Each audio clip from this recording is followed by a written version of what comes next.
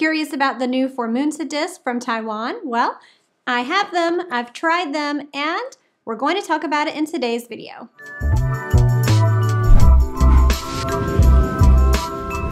Hi, if you're new here, my name is Kim Rosas. I'm a period products expert and the founder here at Period Nirvana. Period Nirvana is your source for all of the information you need to get started with menstrual cups and discs. You can take the quiz on Period Nirvana to find the right fit for you. And if you're in the US, be sure to check out period.shop, which is my home for all things reusable period products, including the new Formoonsa disc, which will now be available to US customers for the very first time on that store. And if you're new here, don't forget to subscribe for more content like this. All right, well, you're here for information about the Formoonsa disc. It now is available in two sizes, but before we get into it, I wanna give you some background on the brand, do a little unboxing, because you know I love unboxings. Then we'll go over the features and my personal experience with their size regular. Starting with some information about the brand. If you are from the US, it may or may not be a familiar name to you, but some of us know Formoonsa for their cup product. Several years ago, Formoonsa released a menstrual cup line that was modeled after the FemmyCycle, has that funnel style rim, but theirs is frosted and it has a really pretty tulip. Their packaging is gorgeous. They also brought in a trainer cup within that line, and then they expanded that line with the Formoonsa XL, which has a collapsible base and a cute little round stem. So it is a high capacity cup. They have not been available in the US, so very few people have them, but a lot of people have heard of the brand name here if you are kind of into cups and discs, which if you're watching this channel, you probably are. One really notable thing about the Formoonsa brand is that the founder, Vanessa Singh, was the first person to really popularize and make available reusable period products in Taiwan. So the Formoonsa cup was the first cup available and sold in Taiwan. And now the Formoonsa disc is the first disc available to Taiwan. So there are a lot of barriers in certain cultures and certain geographies as far as reusable products, especially internal. And so Vanessa has been doing a lot of work on the ground to popularize and make people more familiar and comfortable with using them, which is why they introduced the trainer cup to that market. And then they introduced the Formoonsa disc concept, which was initially brought on as a crowdfund project, and that was successful. After the first one, they introduced the mini, and so now those are both available. And as I mentioned earlier in the video, these are now going to be sold in the US through period.shop initially. So we're going to be selling them in their original packaging, which is gorgeous and I will have the English version of the instructions available for you online if you need them. So definitely look over those if you decide to purchase after this video and uh, make sure you can read the instructions because you won't be able to read the instructions that are included in the packaging until they come out with an English packaging later on in the year. But for now, let's do an unboxing of the original packaging, which in itself is gorgeous, and I wanna show you everything about it. It is a gift type box two people on the front. They do the typical what you expect with any period product. You're gonna get the dimensions on the side. You're gonna get some facts and safety information. And then we're going to open up the box itself. You've got the disc sitting inside, cute little spot here, and their bag. The bag is pretty stiff. It's like um, a shiny material. It has embroidered on it the phrase fly me to the moon. And because this is sort of a space UFO type object in the design, including all the emblems on the disc itself, this is very fitting. Same goes for the mini box, which is in a really pretty shade of purple. I love this color. Open it up, and you've got your disc settled into the box and the same shiny Flying to the Moon bag, which you'll use to store this in between cycles. And here they are. There are two different sizes. This is the regular and this is their mini. Let's talk about how you use a menstrual disc. This is a very brief introductory lesson on reusable menstrual discs. If you already use discs and you know all about them, feel free to skip ahead to the next chapter. Menstrual discs are very deceiving. They look quite large, but you fold them to be narrow, very similar to a tampon. In the case of Formosa disc, you want to be aware of directionality because it has three different notches, but you want to insert it with that third middle notch last to enter your body because ideally that's going to stay centered and when you go to remove it, that's what you can grab. You fold it long ways like this. This one has kind of a sticky basket. You want to fold it into itself because it can crumple and make it harder to insert. You insert with the bowl part facing up towards you and you want to angle it towards your back. And then you want it to go behind the cervix. You're not going to be able to really see that, but if you just angle it, it should nestle right into place. Tuck the front rim all the way up as high as you can make it tuck. And there it is. It is inserted into your body and then you can wear up to 12 hours safely. Once it's been 12 hours or as needed, you take it out, empty it, wash it, and reinsert. For the removal of four Formoonsa disc, this is where the design comes into play.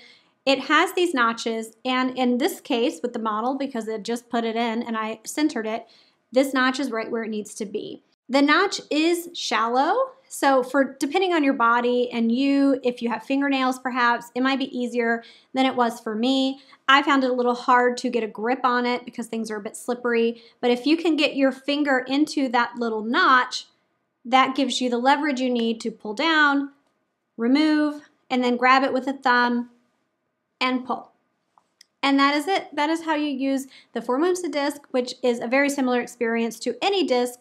So you can apply that lesson to every brand, but each brand's directionality for insertion and if it has a removal aid will differ. So let's really get down and dirty into these features on each of the Formoonsa discs. Menstrual discs tend to be a one size fits most product. If you're looking between the size mini or the size regular, chances are you are the size regular. The reason being is that that vaginal fornix where the disc sits is a one size area for most. This actually really is deceptive as a product. It looks very tiny, but on the longest side, it is 72 millimeters and it holds 53 milliliters, which is slightly more than Hello Disc at 50, but it is less than some of the other discs that don't have inset notches or that have just a full round shape because those hold somewhere between 65 and 70 milliliters typically on a regular one size disc. This one I also find very deceiving because it looks so tiny, but on the longest side, it's 63 millimeters and it holds 38 milliliters, which is still more than basically every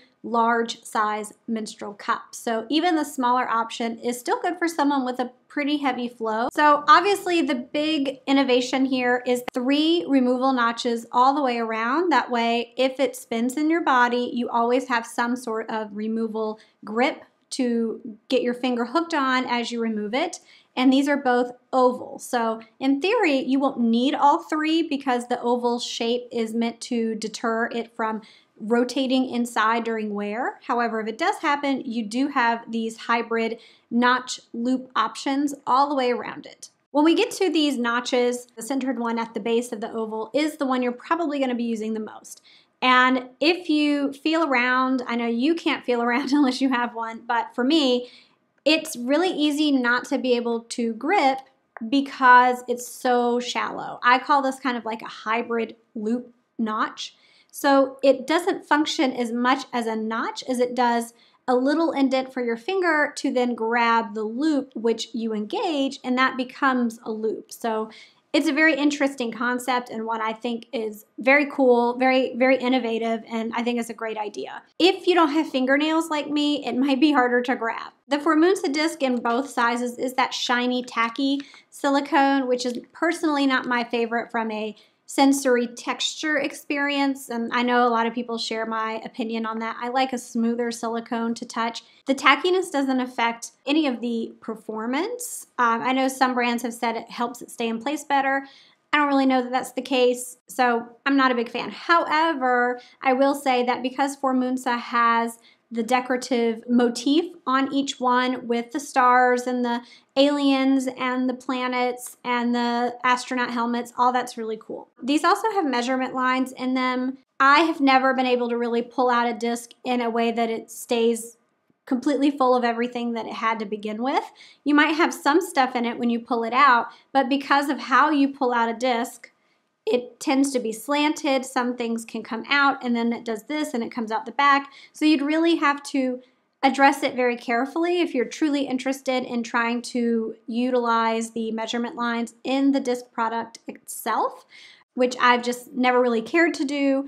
Um, and never really tried to do, but there are measurement lines if you want them. That is also the case on the Size Mini. The Formoonsa really hit a good firmness for me. It's in the middle. It's actually a three. And it was really, really hard to rate because I really almost thought it was a three and a half, but as I continued to go through squeezing and squeezing and comparing, it is less firm than several of the three and a halves. But again, like the rim thickness and how it feels in your hand is so subjective that you may have a different opinion than I do when it comes to how firm it is. So I'm giving this a three. This one is a Luma Regular. You can see those. These are similar tacky silicones. This is the Hello disc. This is the Formoonsa disc. This one has the tab that can be worn different ways, but this is round and this is oval.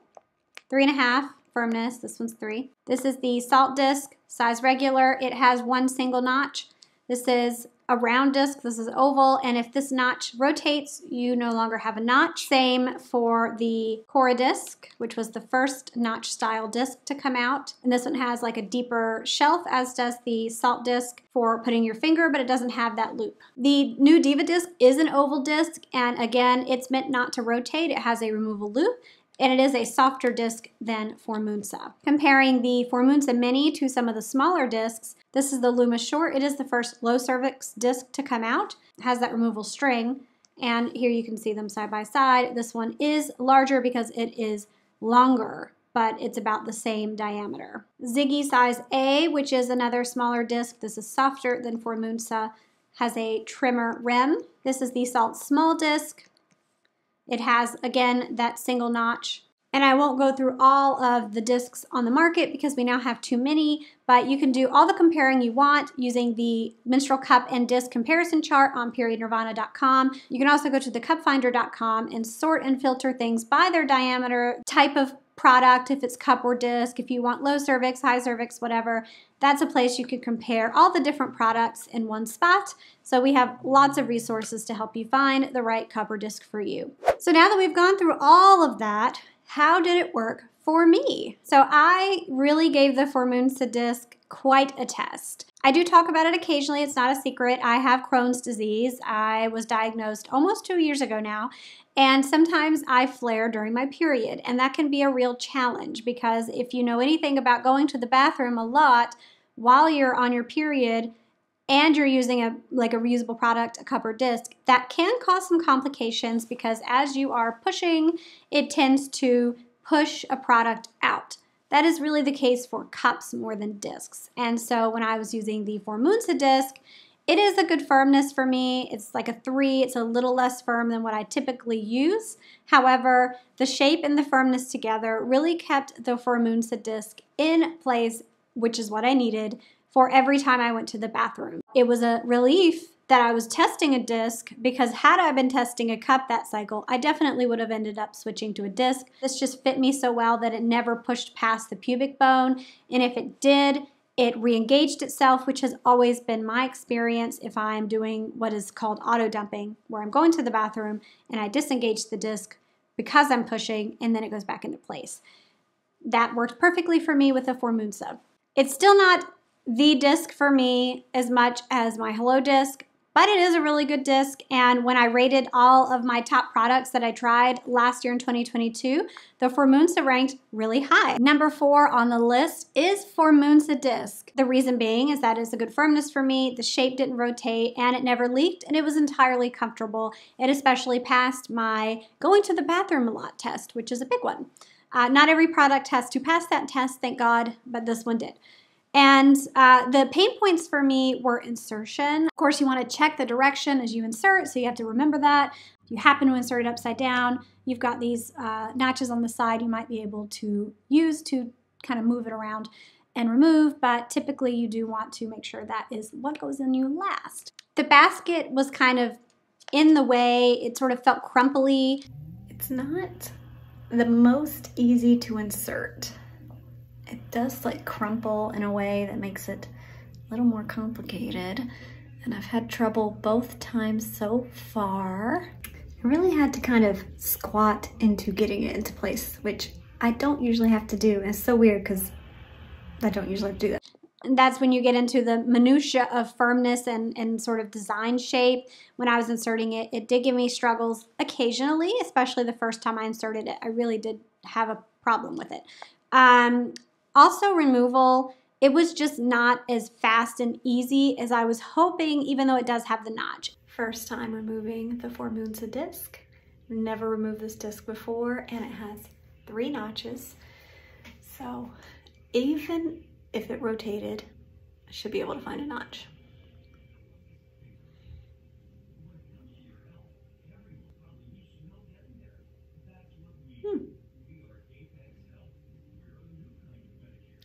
I can pull with one finger, but I'm gonna have to use a thumb because it's not gonna hold on my finger.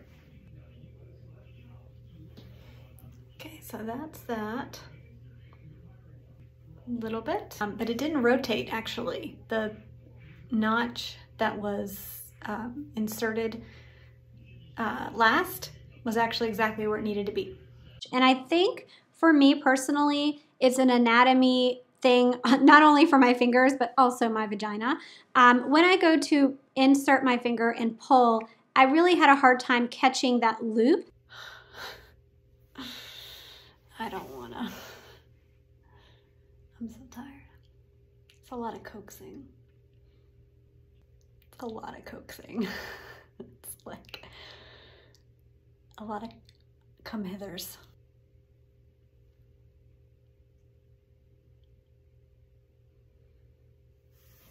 Actually have to push it. The string will not break.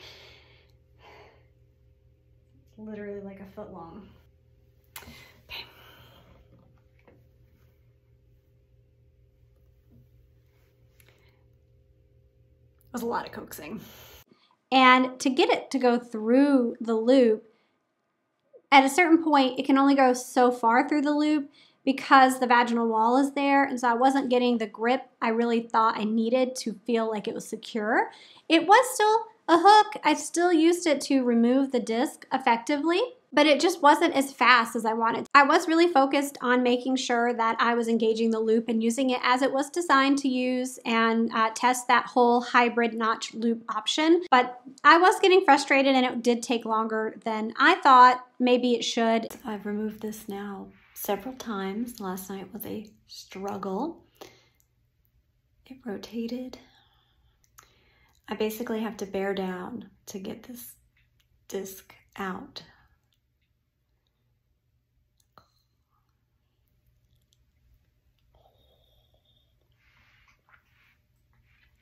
When it's in there, it's in there good. If I'm just saying, like, as a product, when we're not talking about the removal or insertion, it was like a 10 out of 10. Totally comfortable, totally leak free, never noticed it, which is typically my experience with almost every disc when it comes to you know the Knox 2 this for my personal experience it was just a little harder to remove than something like the Hello Disc which for me has been the easiest of all um, but even still when I was kind of struggling with it it wasn't even that messy so I was still getting underneath the rim and then able to pull it and avoid a lot of the mess that comes with some of the other designs that don't have a removal notch at all but that's also something that comes with practice even when you have something without a removal notch doing certain things like pulling it up as you remove it to make sure it doesn't spill. Those can all reduce your overall messy experience with removing a disc. And if you do get blood on your hands, guess what? You can just wash them. Quickly touching on cleaning, it is sometimes a little bit of a pain because stuff can get stuck in these little notches. This does not pass the sitting on the toilet washing test because I need to like physically engage with it to get all the stuff out. It takes forever. But the slippery inside makes it clean out very easy, all of this inside basin part. You just wanna make sure you get the water in all these loops. Over time, I do think you will see staining build up around the texture. You can take a toothbrush, clean that. Down the road, you can do a hydrogen peroxide soak for any of the stains if you need to. Thanks so much for watching. I hope you enjoyed this review of the Four Moons Disc. I am certainly just so excited to see that it's going to be available in the US because a lot of people have wanted to try this product and have been excited about the design, as have I. And so being able to offer it on period.shop is super exciting. Uh, you don't know this until now, but I actually already filmed this entire review and edited it and posted it to YouTube, but never made it public before learning that Formoonsa had redone some things to this disc. They changed the disc basin uh, motif. They made it larger scale. And at the time, it was not going to be available in the US. Not something you can really find. I can't sell it at period.shop unless certain regulatory things are in place. But we got to talking and we figured out that, oh my gosh, you guys are ready to launch here. There's a lot of stuff behind the scenes to selling and exporting and importing these medical products. Was going to just like make a little note in the original video, but between all the changes to the disc, I didn't have the many either in my hands.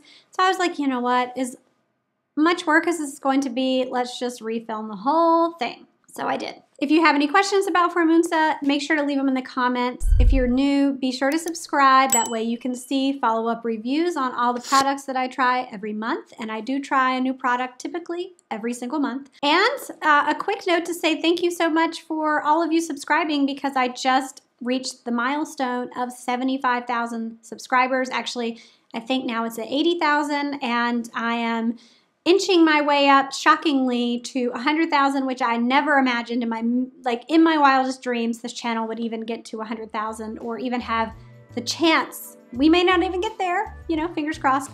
My kids do think it would be super super cool to hit that milestone. Um, but you know we'll see. See you next time in one of our videos whether it be long or short. Bye bye Ooh. blah. Blah blah blah